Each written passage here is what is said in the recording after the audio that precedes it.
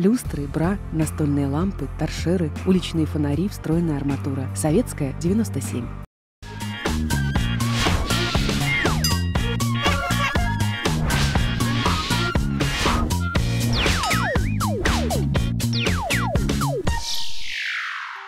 Ребята, привет! Меня зовут Мария Александровна, я работаю в Министерстве по чрезвычайным ситуациям. Наша служба приходит на помощь всегда, если случается беда. Но именно сейчас мы с вами в стране безопасности, где будем учиться простым правилам безопасного поведения в любой жизненной ситуации. А помогать мне будет спасайка, но с ним я вас познакомлю чуть позже. А пока хочу представить наших сегодняшних героев. Варя и Ярослав первыми вступили в борьбу в стране безопасности.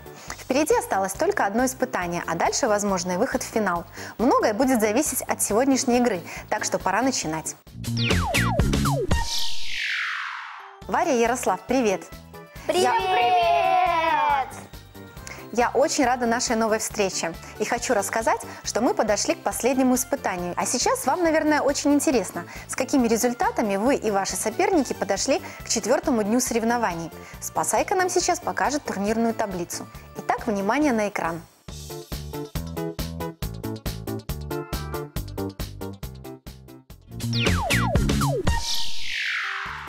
Сегодня мы с вами ничего выбирать не будем, потому что непройденным осталась лишь только одна опасность. Это все, что может с нами случиться в лесу. Ведь он большой друг человека, дает нам ягоды и грибы, делает воздух чище, а при хорошей погоде это отличное место для прогулки и отдыха. Ребята, а какую опасность несет в себе лес? Можно потеряться, может дерево на тебя упасть. Когда, когда гром, нельзя прятаться по деревне, потому что может попасть... Не на- гром, а молния. Ну, молния может попасть по дереву, а если ты будешь под деревом, то ну, очень хорошо будет. Нужно съесть опасный гриб. Если нужно, нужно а, у мамы спросить, какие грибы опасны. А мер- когда ты идешь в лес, нужно спрашивать, какие грибы опасны, а которые нет. А то ты так, вот, допустим, а, захочешь собрать какой-то там гриб, ну, допустим, а ты подумаешь, что это хороший гриб, а он окажется плохим. А, вы его дома съедите и отравитесь, допустим. Вот это тоже опасно.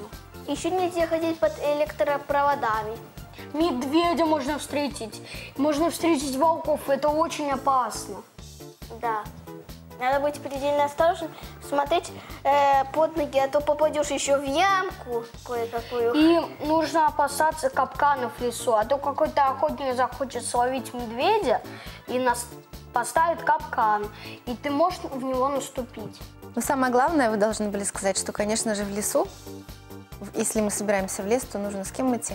Со То нужно взрослыми. идти со взрослыми, либо а, с, с взрослыми, но знакомыми нельзя, только с родными, с близкими, которыми ты знаешь и которые тебе могут помочь пойти в лес, которые знают, как выбраться оттуда.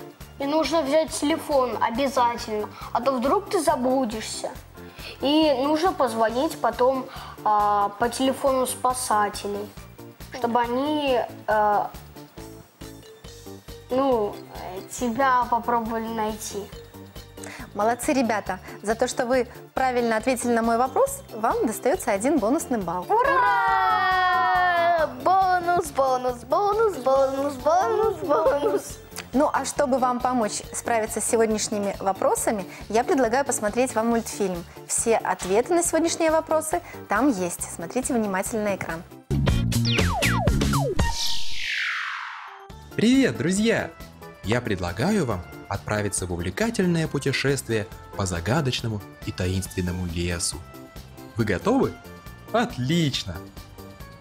Для начала давайте запомним простые правила, которые помогут сделать наше путешествие приятным и безопасным.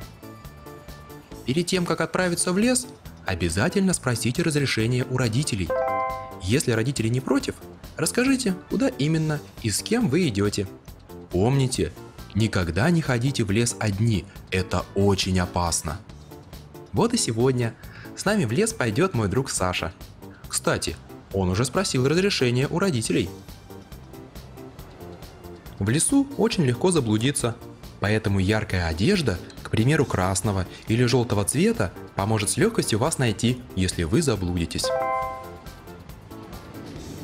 Собираясь в лес, не обувайте тапочки или сланцы, иначе вас могут покусать опасные ядовитые змеи или насекомые. Наиболее подходящая обувь в лесу – сапоги или высокие ботинки.